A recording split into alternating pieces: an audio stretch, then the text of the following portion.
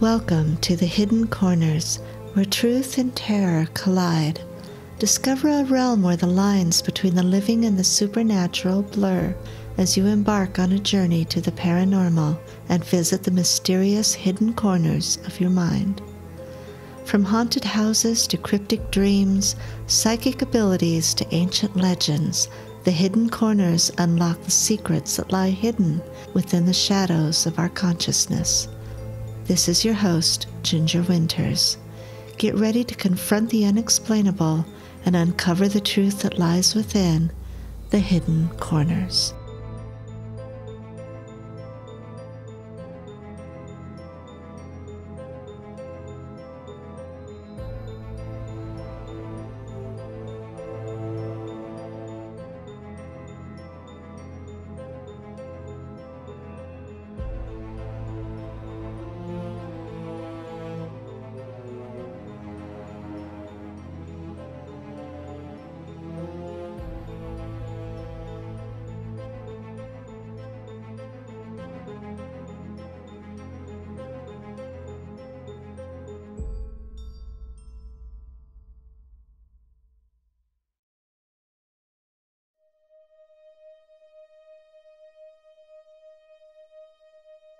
The Owl by Ginger Winters. The three boys had been fishing down at the slough all morning, drinking beer, telling tales, nothing unusual. They spent most their Saturdays down at the slough. Buck's dad was hard headed and mean, so Buck had a habit of leaving home early before his dad was awake. He'd jump in the farm truck and go pick up his buddies for a day of fishing and drinking. Sunday was chore day, but Saturdays were all his to do with as he pleased. Buck had inherited his dad's mean streak. He liked to fight. He liked to kill things. He couldn't wait till hunting season started. He didn't even care about the meat. He wanted to see the suffering in his prey's eyes, just like his daddy did to his mama when he had too much to drink. He was surprised that his buddy Arlo liked to hang around him.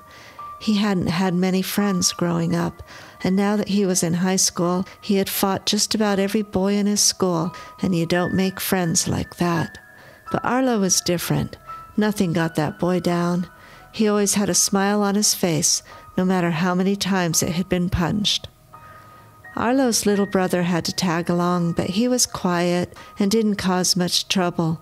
He wasn't quite right in the head, but that didn't matter to Buck. He was 14, and that made him old enough to drink. In Buck's eyes, that was all that mattered.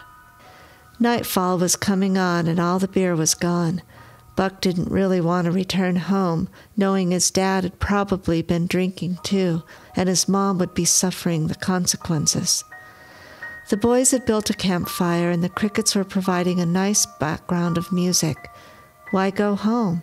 Heck, no one would care. Hey, Arlo, you see that new girl just come to town? Arlo had definitely seen the new girl. What boy in town hadn't? She was pretty. The kind of girl that turned a guy's head when she walked into the room and set his blood boiling in his jeans. I'm gonna get me that girl, Buck said. You ain't got a shot, Buckwheat. She's way out of your league, Arlo stated with a grin. Yeah, well, she ain't never had it as good as what I can give her, he remarked with an obscene gesture that guys like Buck use a little too often. I know where she lives. I seen her walking home from school. She lives just past the old Crenshaw farm.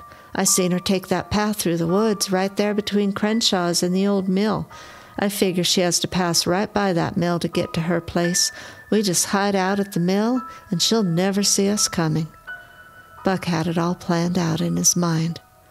But Buck! Arlo tried to interject, but Buck punched him in the shoulder and knocked him into the truck. Arlo knew better than to argue with him. He glanced over at his little brother, Jesse, but Jess was just sitting there staring off into space, as usual. Come on, let's go home, Arlo said. He hoped it was only the beer making his friend think bad thoughts, and that maybe he'd sleep it off and forget all about it by morning. Arlo was used to Buck's bad behavior, and although he usually didn't agree with whatever scheme Buck had dreamt up, he knew better than to disagree with him. Buck drove the boys home and then cut the lights on the pickup as he drove up his long driveway, hoping his dad wouldn't see him coming.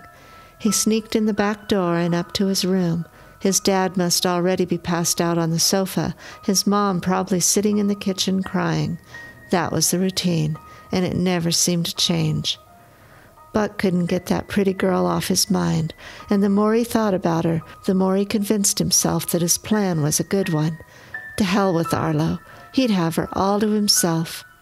Morning songbirds woke Buck, and he rose to do the Sunday chores around the farm. It had been in his dad's family for two generations, and that was a part of the reason his daddy drank so much. He had never wanted to be a farmer. He resented his parents dying and leaving it to him, but he had grown up on the farm and didn't know how to do much else. So they tilled the fields and planted corn and raised hogs. Buck hated it too. There was no way he'd take over the farm when his dad died. He'd rather die than be a farmer and raise stinking hogs. As he ambled through the normal routine, he couldn't get his mind off that new girl. She was his prize, and the sooner he could have her, the better. So he figured he'd cut school early, go hide out at the mill, wait for her to come home, then surprise her. He didn't think much past that consequences of his actions was not something he'd even consider. They simply didn't exist in his mind.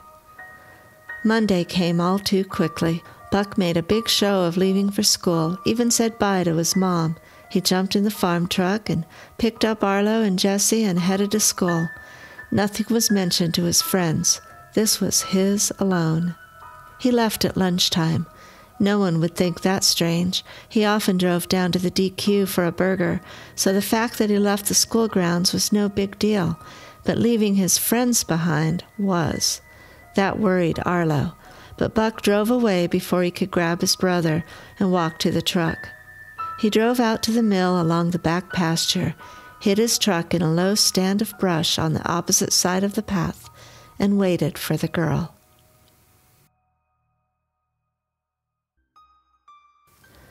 They called her Morning Glory.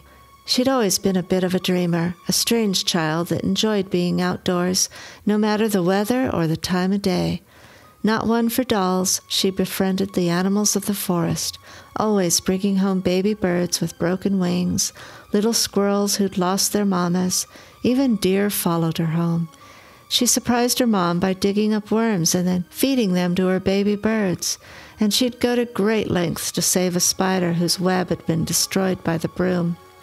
They bought her a puppy, a little scrawny pip of a thing, and when her dad took the shotgun and went after the coyote who'd grabbed the pup, she was more concerned about the coyote's safety than her own little puppy. She seemed to understand the cycle of death and rebirth and survival of the fittest. Glory never seemed to have any friends at school. She was quiet, shy, introspective. She was a good student and always turned her work in on time, but the teachers noted that she wouldn't participate with the other kids in their games or at recess. She would stand under a tree, talking with the birds. The other kids started making fun of her, and boys found great delight in tormenting her, pulling her pigtails, calling her names, and even though kids can be very mean, she never seemed to notice. She was a master at ignoring everyone and everything and lived in her own little world. Her parents' decision to move from Oregon to this little town in Idaho was primarily due to her father's new job, but they hoped that it would also be good for Glory to live in the country again and be around other teenagers who lived more of a rural life. Maybe they'd understand one another. Maybe she could actually develop some friendships or have a boyfriend. They had lived on the outskirts of Portland this past year, but their safe little community was now overrun with homeless camps, and they didn't feel very safe anymore. They had moved around a lot, from one town to another, always in search of a better opportunity. Idaho was different, rural and quiet with a strong 4 H program. They introduced her to the new school and signed her up in 4 H. She'd always communed with wild animals, Now maybe she'd find the same pleasure in taking care of domestic farm animals. It was worth a try. They'd get her some rabbits and some chickens. The first 4 H meeting was Monday night. They told her to stay after school, sent her with a sandwich, and offered to pick her up after the meeting. She objected, as usual, preferring to walk home, even if it would already be dusk. This little town felt so safe, so why not let her have her walk? Glory sat through the uncomfortable meeting, staring through the window. It wasn't that the meeting was uncomfortable, it was having to be around a group of kids she didn't know and didn't fit in with. She couldn't wait till it was over. Her 4 H leader didn't like the idea of her walking home alone, but she assured her that she was quite fine, did this all the time, and abruptly turned and walked away. She savored her walk through the quiet streets, listening to the barn swallows who were just starting their calling, and the swooping of the bats catching mosquitoes. The path through the woods was her favorite part of the walk. It was not a shortcut, and in fact, since it led past the old mill, she had to cut back through a pasture to reach her house. It would have been much easier to just stay on the road, but even though it was beginning to grow dark, she wouldn't miss her walk through the woods for anything. Buck had grown tired of waiting. Why didn't she come through here? He'd been watching her for weeks now, and she always took this path. He had dozed off, leaning up against the tree where he hid in ambush, and was angry at himself.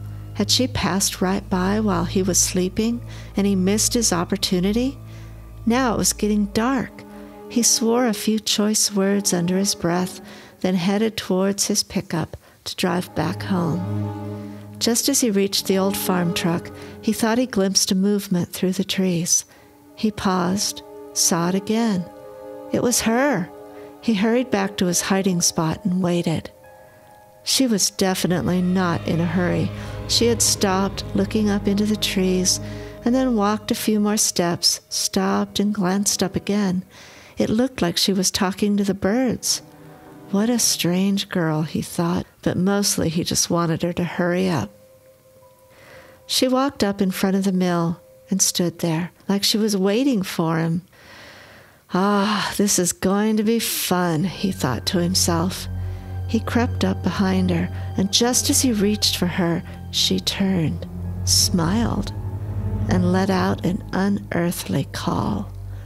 It wasn't a scream, it was more of a hoot sound. It took him off guard, but he couldn't miss this opportunity, so he grabbed for her. At exactly that moment, he heard a swoosh past his face and felt something sharp rip across his head. The largest owl he had ever seen was beating his wings in front of him, tearing at his face with his sharp beak, digging his razor sharp talons into his skin. He waved his arms to protect his face and yelled at his attacker. The girl didn't run. She didn't even move. She just stood there, staring at him. He reached for her again. This time he was angry. He never heard the beating wings coming at him, but he felt the talons rip his throat. He gasped, grabbing at his neck, and felt the blood oozing through his fingers. But still, the girl just stood there. It was maddening, and he was furious. He grabbed for her, but again, the talons ripped across his face, and he whirled around looking for the bird. He attempted one last time to grab the girl and he fell at her feet as the owl ripped into his flesh. He was writhing on the ground, trying to protect his face as a giant bird pecked at his eyes. He screamed for help, but the girl just stood there, watching. Finally, he had no more strength to fight. It was as if the gaze of the girl held him there, unable to move, unable to resist, the feasting that had begun. The next day at school, Arlo didn't see his friend, nor the next day or the next. The old farm truck was found out near the old mill, but there was no sign of Buck, not even a stitch of clothing. No one ever questioned the girl. No one but Arlo had any reason to, and he wasn't going to ask any questions.